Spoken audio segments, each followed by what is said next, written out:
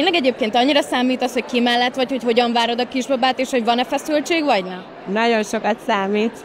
Igen. Nem is mondok többet. Amikor megismertem Edinát, akkor azt mondtam neki, hogy szeretnék tőled egy babát, egy kisfiút. És tudom a nevét is, és ez lesz a neve. Szóval maximális az öröm, és tényleg hálásak vagyunk Istennek a gyermekáldásért. Igen, kiteszem magam egy tangabugyiban, és akkor rá lesz írva a tang.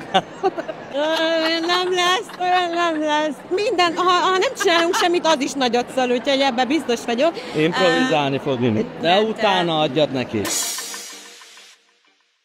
Hogy fogadták a többiek, az egész család azt, hogy újra várandós vagy? Nagyon-nagyon pozitívan, mindenki alapvetően tudta, hogy szeretnénk még, hogy azt is, hogy kisfiú, tehát hogy így egybe mondtuk meg így ezt a két csodálatos írt, úgyhogy mindenki nagyon-nagyon örült neki. Már körültél azért, hogy fiú lesz? Amikor megismertem Edinát, akkor azt mondtam neki, hogy szeretnék tőled egy babát, egy kisfiút. És tudom a nevét is, és ez lesz a neve. És akkor most ez, ez úgy összejött, hogy kisfiú lesz. Majdnem elmondtam, mi a neve. Szóval maximális az öröm, és tényleg hálásak vagyunk Istennek a gyermekáldásért. Van már valami terv, hogy majd hogyan fogjátok elárulni a, a követőknek, a rajongóitoknak azt, hogy mi lesz a baba neve? Igen, kiteszem magam egy tangabugyiban, és akkor rá lesz írva a tang. Én nagyon várnám, hogy ez így legyen. Nem lesz, olyan nem lesz. Kidobom az összes tálkapugyit. Jó, akkor nem lesz. Pedig szerintem nagyot szólna. Az minden, ha, ha nem csinálunk semmit, az is nagyot szól, úgyhogy ebben biztos vagyok. Improvizálni fog inni.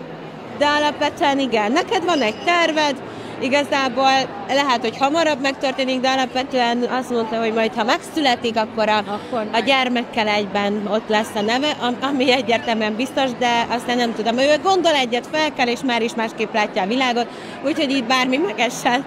Nem félsz egy picit, hogy hogy fogod bírni? Abszolút nem félek. E, mindenki szinte, vagy minden harmadik ember egyébként ezt kérdezi. Én nem értem, hogy hogy lehet félni egy ilyen csodától. Tehát, hogy e, nyilván Végre, de jól esik, hogy videó is van hozzá, és úgy mondod. Tehát, hogy igen, van négy, sőt igazából hat, hogyha összevonjuk az összes gyereket, de, de nem. Tehát tök érdekes, hogy az elsőtől kicsit tartottam, a másodiktól féltem, és onnantól kezdve, hogy, hogy így Márk mellett vagyok a harmadikat, olyan könnyen vettem a negyedik, meg aztán végképp. Tehát, hogy abszolút nem félek, minket a gyerekek éltetnek, tényleg. És egyébként ő Wonder Woman, szóval mindegy. Miatta. Tényleg egyébként annyira számít az, hogy ki mellett vagy, hogy hogyan várod a kisbabát, és hogy van-e feszültség, vagy nem? Nagyon sokat számít. Igen. Nem is mondok többet.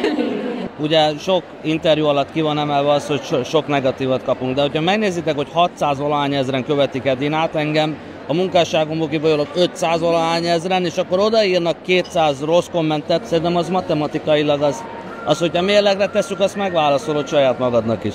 Egy picit fogsz visszavenni a fellépésekből most, hogy érkezik a kisfiad? Most már lassan azt érzem, hogy készen vannak a cuccom, és meg szeretnék indulni vissza az életembe.